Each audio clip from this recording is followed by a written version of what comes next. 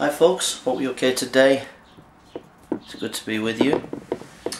Um, don't forget my website, jasonburnspreacher.com and uh, we're going to look at uh, Speaker's Corner and the Quran and give you some helpful information uh, to debate people, uh, Muslims, and to talk to Muslims about the Quran. And um, the first thing I'd like to bring up to your attention is the issue between um, Shia and Sunni Muslim. Um, when you're talking to Muslims about the Quran, they won't want to talk about it in, in a critical way. Uh, they'll shy away from that and they will throw questions about the Trinity and the Bible has changed.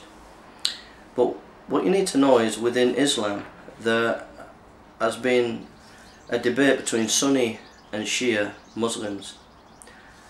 And the Shia Muslims have said that the Quran has been changed uh, by the Sunni. Um, so we read um,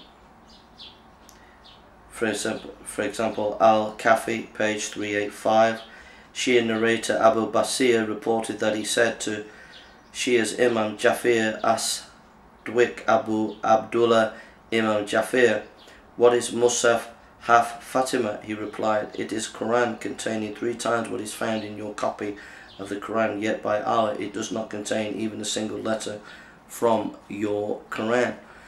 And I have here uh, tons and tons of information. Tons and tons of information about Shia and what the Shia think about the Quran and that the Quran has been changed. And I just have tons of it tons of information. So you could type in um,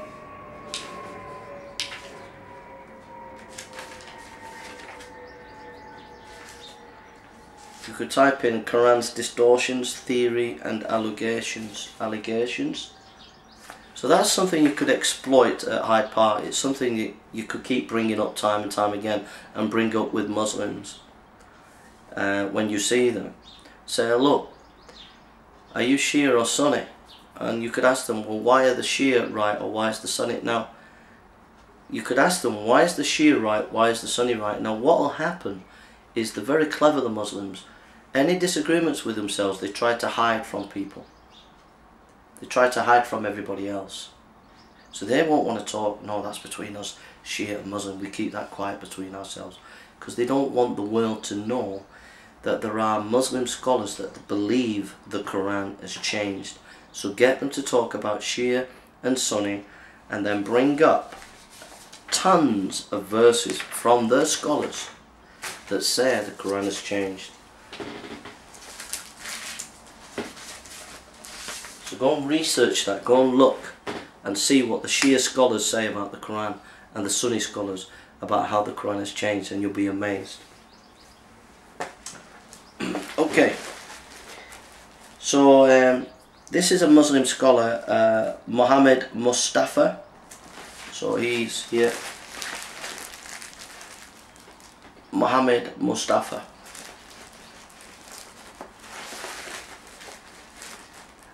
Uh, Muhammad Mustafa Al-Azami, Professor Emeritus at King's uh, Saudi University, wrote, We must nevertheless take into consideration that there are over 250,000 manuscripts of the Quran scattered all over the globe.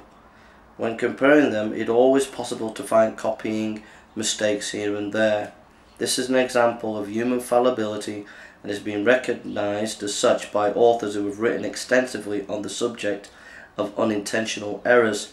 Such occurrences cannot be used to prove any corruption within the Quran. The historic, history of the Quranic text from revelation to compilation, a comparative study with Old and New Testament. Leicester, UK Islamic Academy 2003. Now this scholar has admitted there there are copyist mistakes within the Quran. And that is a devastating blow to Muslims. If Muslims are saying that the Quran is preserved, then the manuscripts have to show that. The manuscripts don't show that. The manuscripts show that there are copyist mistakes. He's admitted it here. So that's an issue that you can bring up with the Muslims. Um, the Muslims will say that the Quran has been preserved um, and if you go on to answering Muslims are the chains of narration for the Quran reliable? Answering Muslims if you type in answering Muslims are the chains of narration reliable of for the Quran reliable? Are the chains of narration for the Quran reliable? By answering Muslims uh, David Wood. And he gives a, a list of hadiths said that Muhammad did not collect the Quran and forgot parts and had even different versions. Sahih Bukhari volume 6 61 5 number 556 Khan. Sarah uh, Sahih al Bukhari volume 6 BK 61 number 513 Khan. Sunni Abd Dawood BK 3 number 1015 Hassan. Sahih al Bukhari volume 6 BK 61 number 514 Khan, Sahih al-Bukhari volume 6 BK 61509, Sunni al-Timithri 3103, Cridley. Uh, next, the Quran was collected and memorized by his companions, but they memorized it differently. Sari al-Bukhari volume 6 BK 60 468 Khan, Sahih al-Bukhari volume 6 BK 60 467 Khan, Sahih Muslim BK4 number 1799 1802 Siddiqui Sahih al-Bukhari volume 6 BK61 number 527 so you can get that article um, there uh, answering are the chain of narration for the Quran reliable? Answering Muslims, Monday, April the 23rd, 2012, by David Wood. Now, let me just give you the background to this. I used this piece of paper on Masood, one of the Muslim apologists in Hyde Park. He shied away from it, he wouldn't deal with it.